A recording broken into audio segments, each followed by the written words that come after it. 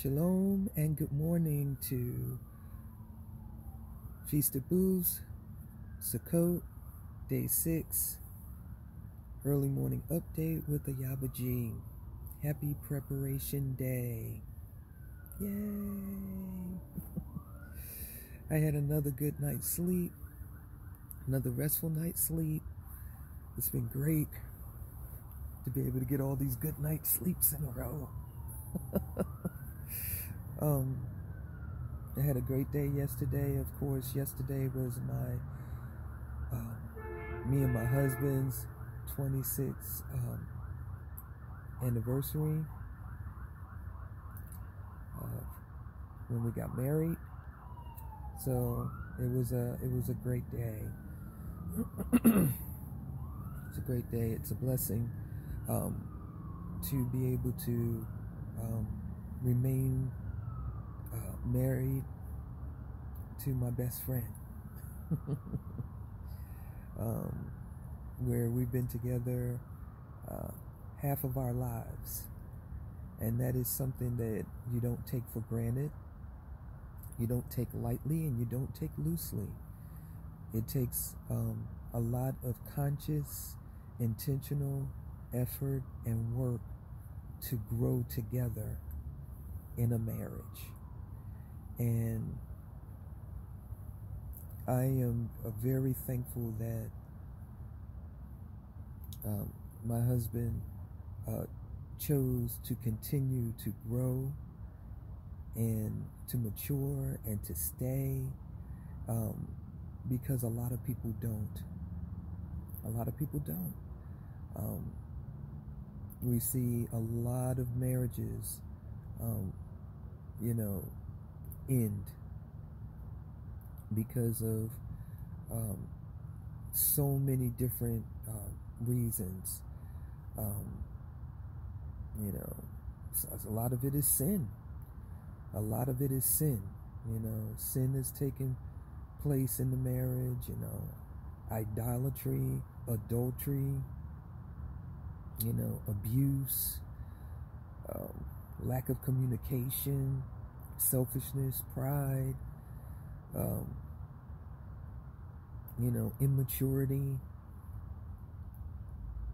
you know, so many um, different reasons, lies, deceit, that marriages, you know, end. and some people shouldn't have even gotten married to each other in the first place, you know. So, in the end, you know, the the consequence of them getting married when they shouldn't have gotten married to each other in the first place is that the marriage ends up ending. So I'm I'm so very very grateful for every time you know we have another year together. You know, marriage is not to be taken lightly or loosely.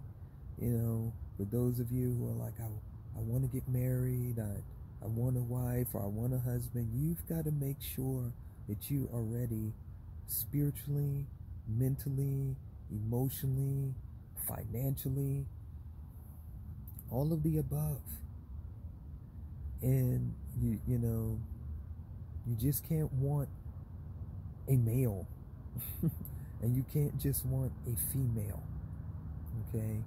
You have to seek the most high Yah for who he is ordained for you to marry. Remember, marriage is a covenant. Marriage is a covenant relationship. You know, society today has re- reduced marriage to so many different things that the Most High Yah has not said that it is. And um, we have to make sure that we, you know, hold on to what the scripture says that marriage truly is. And, you know, know our roles. And if you already are married and, you know, if you if you have a great marriage, you know, keep growing in that great marriage.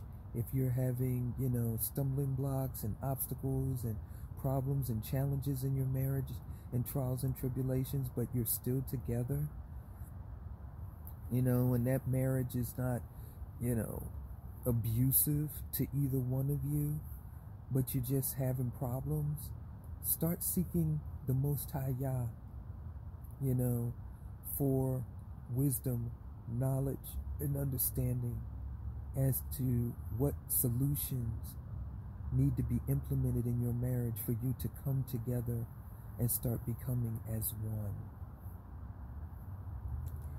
You know,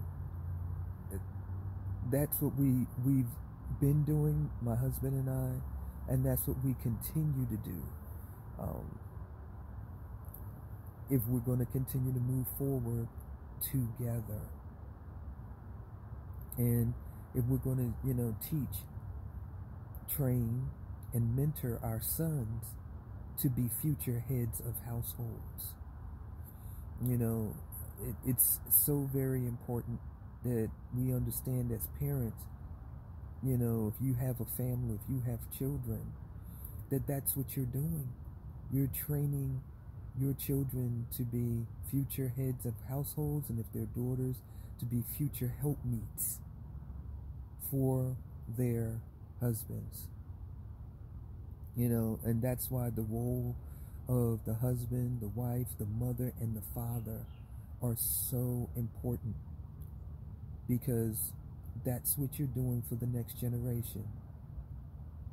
You know, and you're either teaching them the right way according to scripture or you're teaching them the wrong way according to society and according to the world system. And so, whether you realize it or not, whether you want to do it or not, you're always teaching. You're always setting some type of example. And it's important for us to make sure that we're setting the right example, that we're showing a set apart example for our your children, for the next generation.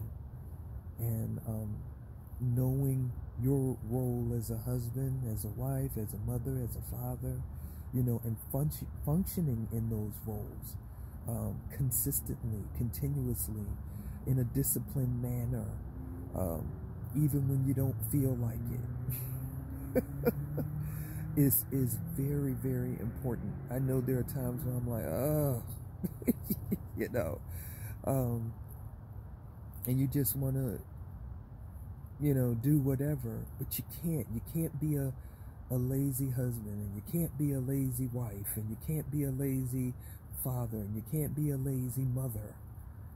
You can't, you, you just can't. If you're going to give, you know, a heritage, uh, inheritance of blessing to your children. And even the children, they can't be lazy children and function outside of their scriptural role as children, you know, towards their parents and within a family. You know, obedience must take place. You know, honor must take place by children toward their, you know, towards their parents. And that is that is very, very important in in them you know, seeing the blessings and the promises of, of Scripture from the Most High Yah to come to pass in their life. And so we've got to remember that, you know, knowing your role first and foremost, and then once you know your role and then have a complete understanding of your role, then you start functioning in that role. You start doing that role. Okay? You start living that role out. And it's not always easy. It's not always easy to be the, the, the set apart wife that will set apart her husband and her children. It's not always easy. Okay? But it's necessary. It's necessary. And I know that the times that I didn't function in my role, blessings didn't manifest in my life. They didn't manifest in my marriage. They didn't manifest in my in my family. But as I continue to um, learn my role, you know, know my role, understand my role, and function in my role, that's when the blessings uh, of the Most High Yah started being manifest, manifested in my um, in my marriage and within my family as a whole. And so, you know, this is something that you know is really not optional. You know a lot of times we think oh this is optional you know we're married i'm gonna do what i want to do and you know i'm gonna raise my kids any old kind of way and hope for the best. No it doesn't work like that. It doesn't work like that it takes a conscious effort. It takes a lot of prayer. It takes sometimes it takes fasting. Sometimes it you know it takes seeking the face of the most high yah um, listening to what he tells you to do uh, through scripture and you know and and and by his set apart spirit. It, it takes submitting to your husband you know um, it, it, it takes uh, you know watching over your children and sometimes it's it's uh, staying up late at night it's um, getting up early in the morning you know, to make sure that your household is intact.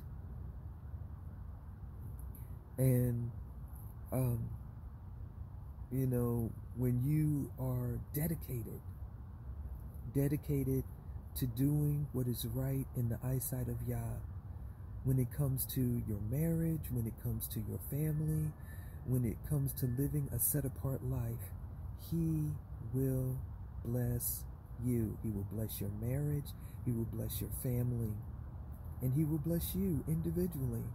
And, you know, before we can, you know, rebuild our, you know, our community and uh, rebuild with uh, within ourselves as a people, we've got to rebuild marriages, and then we got to rebuild our families.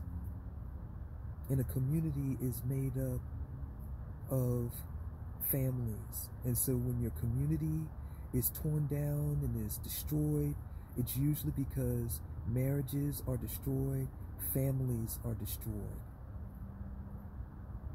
And so we've got to get back to the business of rebuilding our marriages. You know, forgiveness must take place within our marriage. You know, reconciliation must take place within our marriage. You know, communication must take place within our marriage. You know, there, there's so many different things that, that must take place within our marriage so that we can get back to what the Most High Yah originally intended us to be as families within the Most High Yah's kingdom. You know, so just think about that. Uh, if you are single and you want to get married and you want to start a family, you know, start preparing yourself. Start preparing yourself spiritually now. Start growing and maturing in Yah. You know, if you're a, a, a man and you're single, you know, make sure that you're prepared, you know, to uh, spiritually and physically, mentally, emotionally, both, both the single, you know, the single sisters and the single brothers. And and don't just jump into marriage because, you know, you you you wanna you wanna have sex. Don't let that be the reason. Because let me tell you, you're not having sitting up here in the bed having sex every day. don't get it twisted. That's not what's happening every day. You're living life you know, you're raising children, you're working, you know, challenges come. And believe me, you know, we've been through some through some very challenging times within our marriage. And the last thing you're thinking about during those times is whether you can lay down and have sex with your spouse. You're trying with everything that you have to get through that problem or that challenge. And you've got to know that the person that you have married is, you know, has your back and is willing to go through that challenge or that trial or that tribulation or that storm with you. And um, I am so grateful that the Most High Yah has blessed me with with a husband who is, you know, gone through those challenges and those tests and those trials with me in the times when I wasn't mature, you know, and the times where I was having a female tantrum. you know, um, and he, you know, didn't get up and walk away. In the times when he was maturing, you know, in the times when he was having a mantrum. and I didn't get up and walk away. You know, and it never, and I, this is what I will say never, ever have I experienced a day with my husband of abuse on any level. No, no physical abuse, no mental abuse, no emotional abuse. And for that, I am truly grateful. Hallelujah. Hallelujah. So, an environment has been created within our marriage that even though mistakes have been made, you know, maturity needed to happen, it, it has been an environment for both of us to be able to grow, you know, and grow together and develop patience with one another. And I'm very, very grateful for that. Hallelujah. Hallelujah. So, I am, you know, now we're working with our sons because, like I said, we're training two, uh, two future heads of households, you know, in our sons, and so um, that is our uh, that is our responsibility um, as parents, and um, so yes. 26 years and counting. We've been together, actually 27 all together. Um, but uh, 26 years married. So hallelujah, all praise and worship to the Most High Yah for His mercy and His uh, protection over our marriage and His provision for us throughout our marriage and His guidance and Him teaching us throughout our marriage and um, revealing things to us along the way that needs to be kept out of our marriage or driven out of our marriage. Hallelujah.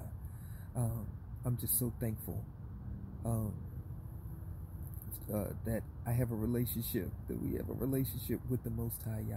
Hallelujah. Um, happy Preparation Day. I look forward to Shabbat.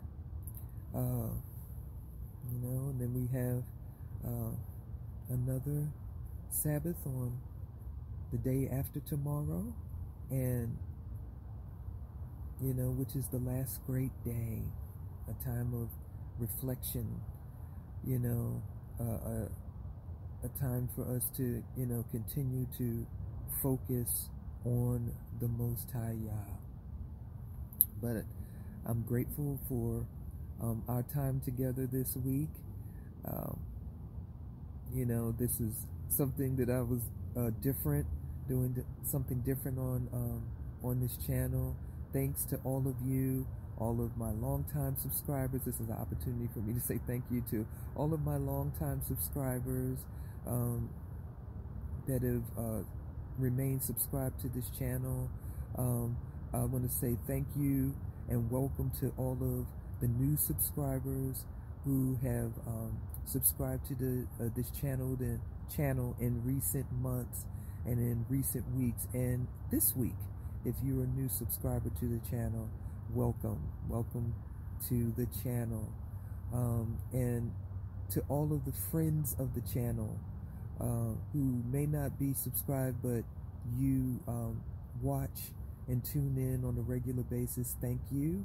And thank you to all of you who have downloaded the Ayaba G app. Um, thanks to all of you uh, for downloading. Uh, thanks once again to my husband who created the app, and um, those of you who follow um, the content from this channel through the Ayaba G app. It is free on Google Play. Ayaba G. Um, so yeah, I look forward to uh, seeing you a little later on today, Yah willing, for praise and worship and scripture reading. Shalom. See you later.